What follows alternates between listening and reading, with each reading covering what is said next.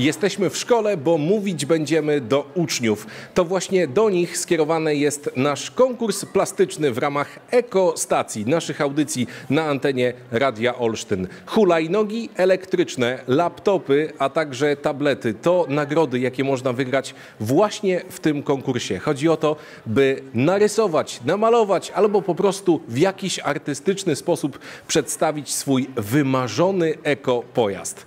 Na Wasze zgłoszenia, drodzy uczniowie, czekamy do 28 dnia września. Szczegóły dotyczące tego konkursu, a także jego regulamin na naszej stronie internetowej radioolsztyn.pl 28 września. Zapamiętajcie tę datę, nagrody też będą na Was czekały.